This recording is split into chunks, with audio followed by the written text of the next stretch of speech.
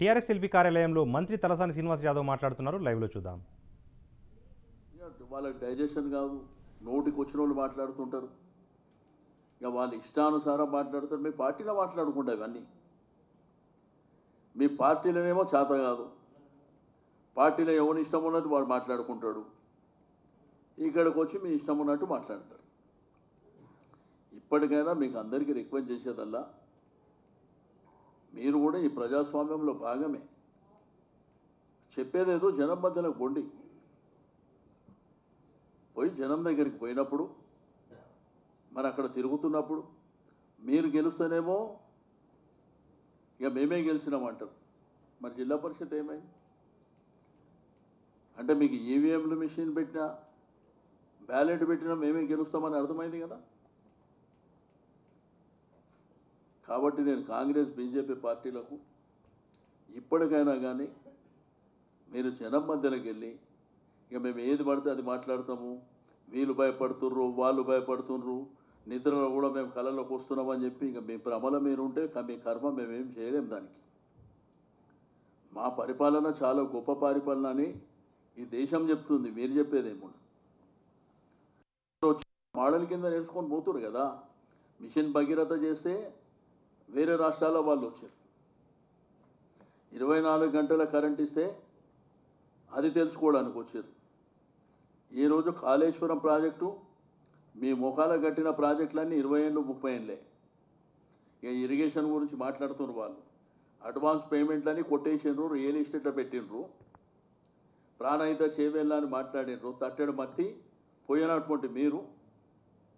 ఇక మీరు మాట్లాడతారు. ఇద్దరు రాష్ట్ర ముఖ్యమంత్రులు కలుస్తూ కూడా ఓర్వలేనితనం. మీరు రావద్దు. వాళ్ళకి లెటర్లు రాయడం ఇవన్నీ చేయడం. కాబట్టి వాళ్ళు ఒకటే కాంగ్రెస్ కోరుకునేది ఏంటంటే రొటీన్ పరిపాలన జరగాలి. వాళ్ళు ఎట్లా చేసిరో అట్లా జరగాలి. మేము చేయం. ప్రజల పద్ధతిలో మేము చేస్తాం. మీ పద్ధతిలో చేయమంటే మేము చేయం. కాబట్టి ఇప్పటికైనా కానీ మీ ఇష్టానుసారం మాట్లాడితే మీకంటే గొప్పగా మాట్లాడతాం గొప్పగా పరిపాలన ఇచ్చిన ప్రజలకు.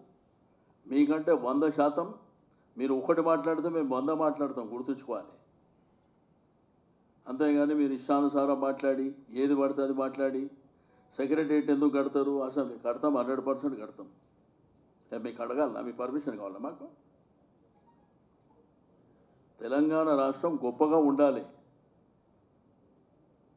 గొప్పగా పరిపాలన ఎట్లయితే జరుగుతుందో మన సెక్రటరియట్ కానీ మన అసెంబ్లీ కూడా మన కౌన్సిల్ కూడా అంత గొప్పగా ఉండాలని కోరుకుంటున్నాం.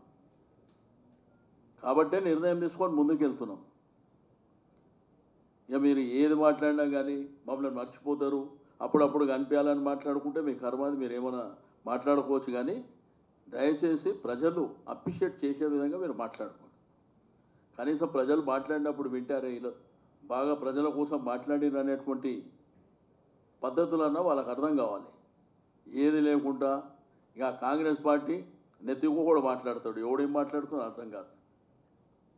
మళ్ళీ అక్కడ ధర్నాల దగ్గర పోతే కొట్టుకుంటారు. మరి ఈ పద్ధతులు ఉన్నారు మొన్న పివి నరసింహారావు గారి గురించి ఏం మాట్లాడారు? చూసిన మీరు అది వాళ్ళ గౌరవం మర్యాద. మీకు ఏదన్నా అడగవలసుకునేది ఉంటే అన్న మాట్లాడినాక మన అన్న మాట్లాడతాడు మన నర్సన్న మాట్లాడిన తర్వాత చెప్తాను